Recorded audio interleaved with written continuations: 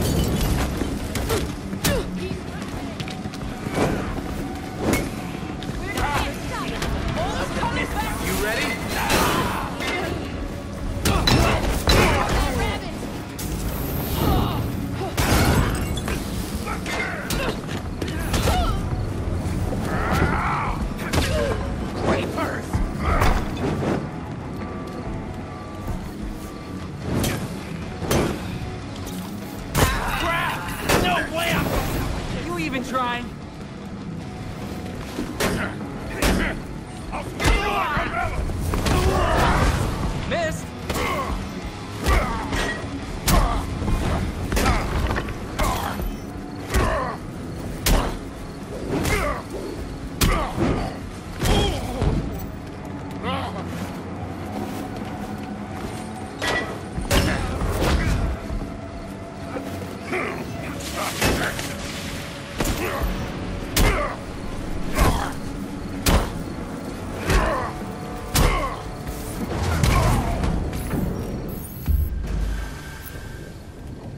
Well, guess that's done.